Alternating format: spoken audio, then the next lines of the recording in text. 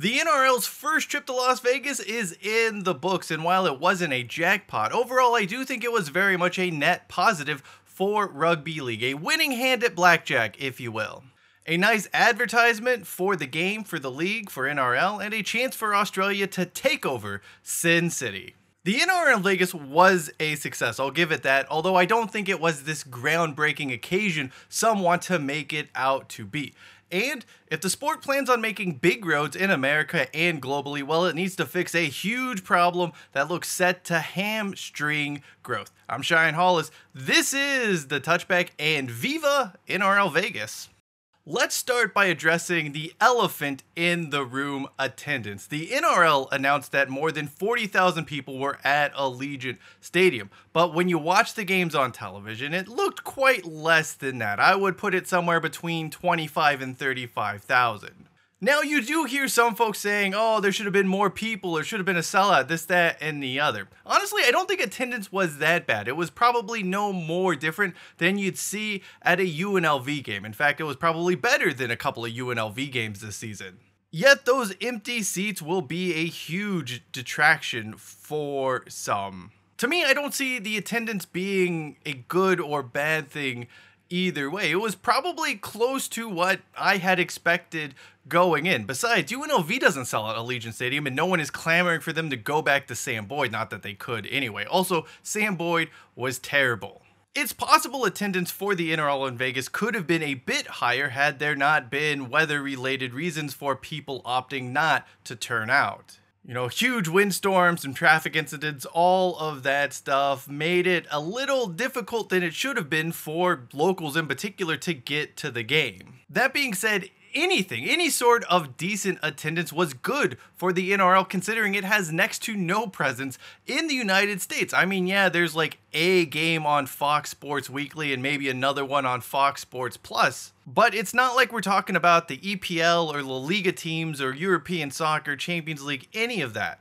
Compared to that, the NRL is pretty much unknown. This isn't to say that there aren't fans stateside and in Canada and in North America, but it's really, truly just sort of off the radar. That's a shame, but it's also the way it is. You know, as someone who is a big NRL guy, I wish it did have more popularity and I hope it does grow. But the truth of the matter is, getting more than five or 10,000 people in Las Vegas, in America, to see the sport, I think is worthy of adulation and respect. The other downside of everything, at least if you were in the States, was Fox Sports. Just once again, fumbling their timing in terms of when events in. And that saw the Sea Eagles Rabbitohs game bump to Fox Sports 2 for that opening 10 15 minutes or so. Fox Sports 2 is the sports television graveyard, it is where events go to die.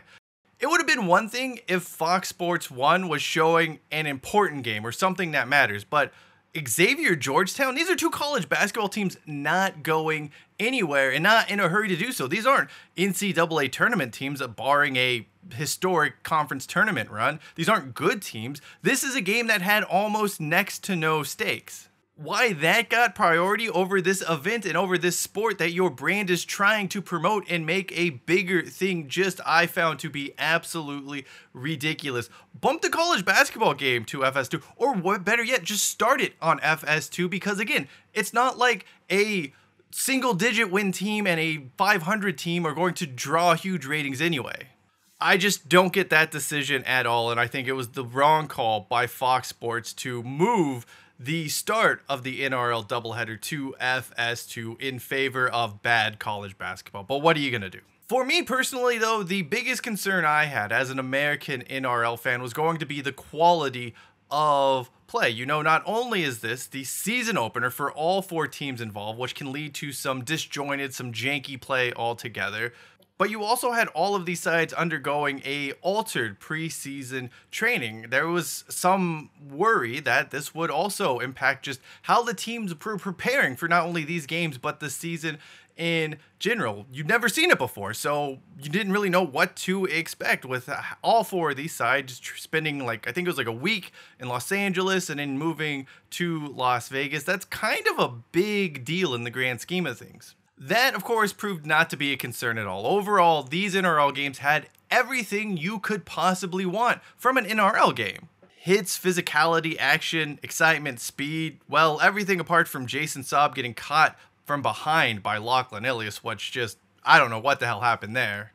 The highlight across the two games, though, had to be Joey Manu throwing out that perfect form Heisman stiff arm and then tossing a behind the back pass that would have made Jason Williams proud. What an epic play. What is just a. I don't have words for it, but yeah, that is what you want to show when you show NRL highlights, and it delivered in Vegas in that regard. Now, it wasn't all perfect. The Broncos started the season looking like they had a championship losing hangover after that pretty bad loss to the Panthers in the grand final. However, even that wasn't enough to detract from the overall product. To me, the calling card here had to have been the intensity. It wasn't necessarily the best NRL games you'll see played, but the intensity was there, the purpose was there, the passion was there for me, it was far better than a lot of those early NFL games in London, which were just sloppy, messy. The teams just were very disjointed. I mean, come on, Cleo Lemon, anyone? When you look at the broadcast package overall, what I really appreciate is one, the use of the Australian broadcast teams from Fox Sports. They kept it really much like you would expect to get in Australia. That also means the announced teams, both announced teams, they didn't really baby the audience all that much it was a fairly normally called game. I mean, sure, there were some things they did take a little more time to explain, but it wasn't over the top in my mind. You know, when soccer was starting to grow in the United States in the late 2000s and early 2010s, this was something announcers were extremely guilty of. There were just a lot of people trying to, I guess, soccer explain everything to normal people who may not have known the sport. But the thing was, is that people watching soccer in America were more likely going to be fans. It's not like randos were turning in to watch Champion League's group stage games or EPL contests. So it was just one of those things that was really frustrating as a soccer fan in America. And I think overall, the Fox Sports crews did a very good job in not sort of devolving the broadcast to where it'd be something a normal NRL fan would just want to pull their hair out listening to. They were maybe a bit overindulgent when it came to trying to describe the atmosphere and the crowd, and just that they really wanted you to believe it was this cauldron of noise, despite the fact that it was about 20,000, more than 20,000 less than a sellout. It was good, I'll give them that, perhaps a little louder than the Super Bowl, but it really didn't feel like the grand final atmosphere that you would see in Australia. I just felt they, they tried a little too hard to make it seem like it was a bigger deal than what you could see and hear on television. A final thought on the broadcast package, at least from an American standpoint. It would have been great if someone would have actually bothered to explain to the American audience what completions mean. When I first started following rugby league, this was something that I just I couldn't figure it out. I could not process what completions were and what completion percentages were. I always thought it was like a pass. Like if you complete a pass, that was a completion. And then you would see all of these numbers and percentages and they didn't necessarily match up to the completion. So next time I think you have an American audience, that should be the one thing you work to describe or maybe provide a little more background on. It took me a while. It took me a few months to finally sort of process everything. Even now, I don't think completion percentage is that big of a deal, despite what many color commentators want to tell you about completion percentages, but I'll leave it at that. So, what is next for the National Rugby League, at least as it relates to the American audience or the overseas audience? To me, it's simple. How about they start by fixing the biggest problem, the biggest obstacle that's going to stop Americans and others from watching more NRL games or being a part of just what they want to build? That, of course, being the comically overpriced Watch NRL package. Here's the deal it's a fine app, lots of good content, not worth the 150 US dollars they want to charge. Not for a sport where many folks aren't going to be able to watch it live stateside. It's sheer lunacy to me that the NRL wants so much money for this at 50 $60 a year season, I kind of get that. Bundling it in with something else, hell yeah, absolutely sign me up for that. But as a standalone subscription, 150 US dollars, get out of here. Sure, that's not quite NFL Sunday ticket money, but that sure is a hell of a lot of dough for a sport that has a small fraction of the following most American sports have. If you want to get that foot in the door, you got to make it accessible. And right now, the NRL is not accessible stateside. Sorry, having a game a week on Fox Sports doesn't change that. Beyond that, it's also important for the NRL not to lose sight of the Australian fan base. Building up the US market is cool, but going crazy with expansion and playing games overseas is no good. One of the reasons many overseas fans actually do watch the NRL is because it feels distinctly Australian. It's something we aren't getting with our local sports league products. NRL just hits different than US sports for me. Trying to make it more American not only disenfranchises your Australian fan base, but it also turns off fans such as myself who like it because it's different, because it has a distinctly Australian feel to it. All in all, a good introduction for the NRL into America. It's uh, the equivalent to a penalty field goal, I guess. Put points on the boards, but it's definitely not going to win you the game.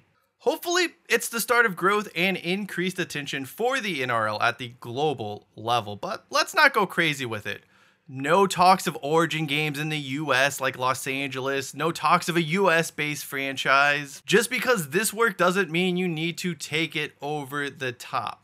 Unlike most folks who leave Las Vegas, the NRL is returning home a winner, and that means it's important not to do something stupid on the way out of town. Thank you for watching this video. If you'd like to know a little bit more about what NRL teams stole their name from NFL teams, well, check out the video upper right-hand corner of your screen. Till next time, I am Cheyenne Hollis. This is the Touchback hashtag, hashtag seven tackle set, I guess. I never know how to end it when I do an NRL video, but hashtag take it out to the 25.